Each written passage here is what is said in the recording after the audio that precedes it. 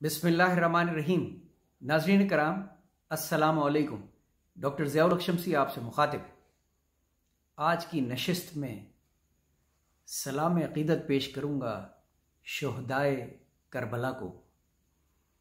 کیونکہ یہ انسانی تاریخ کا سب سے عظیم سانحہ ہے، جس کا سوگ نہ صرف پچھلے چودہ سو سال سے جاری ہے، بلکہ تا قیامت جاری رہے گا۔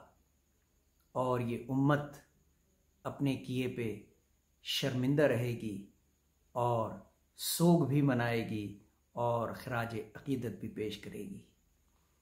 عرض کیا ہے، امت کا ہے سلام شہدائے کربلا کو۔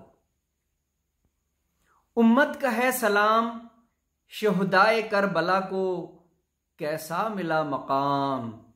شہدائے کربلا کو کیسا ملا مقام؟ شہدائے کربلا کو ملتی نہیں مثال تاریخ میں جس کی؟ بے شک، ملتی نہیں مثال تاریخ میں جس کی؟ جنت میں لیا گود۔ شہدائے کربلا کو جنت نے لیا گود۔ شہدائے کربلا کو وہ جنگ نہیں جہاد تھا۔ اہل بیت کا۔ وہ جنگ نہیں جہاد تھا۔ اہل بیت کا تب ہی ملا اعزاز یہ شہدائے کربلا کو۔ تب ہی ملا اعزاز یہ شہدائے کربلا کو۔ جنت میں گھر بسایا ہے، اہل بیت نے۔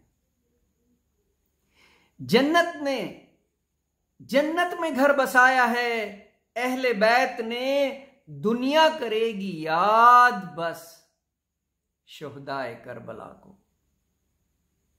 دنیا کرے گی یاد بس شہدائے کربلا کو۔ روئیں گے تا قیامت قتل حسین پر۔ روئیں گے تا قیامت۔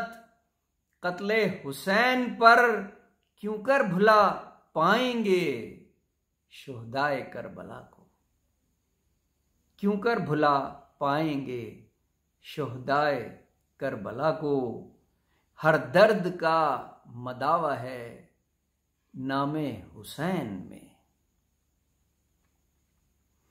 ہر درد کا مداوع ہے نام حسین میں دیں گے جواب کیسے؟ شہدائے کربلا کو دیں گے جواب کیسے؟